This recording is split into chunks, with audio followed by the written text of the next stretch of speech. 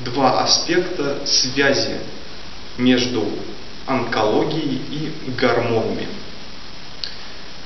Во-первых, рассмотрим такой момент, как гормонозависимость опухоли. Что такое гормонозависимые опухоли? Это такие опухоли, интенсивность роста которых напрямую зависит от уровня синтеза тех или иных гормонов. То есть, чем больше в организме вырабатывается определенного гормона, тем быстрее растет данная опухоль.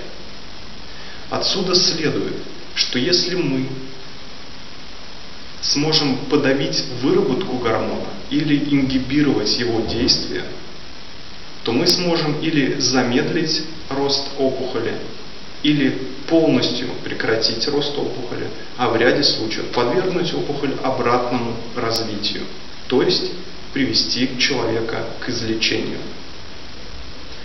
Другой аспект связи онкологии и эндокринологии – это гормон продуцирующие опухоли.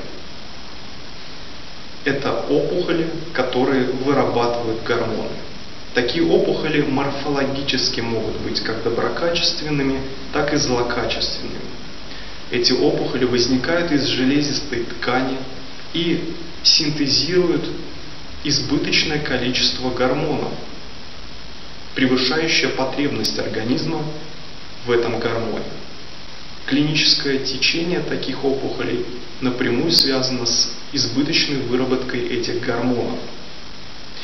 И несмотря на доброкачественность опухоли в ряде случаев, все равно требуется их удаление в связи с клинически злокачественным течением таких опухолей.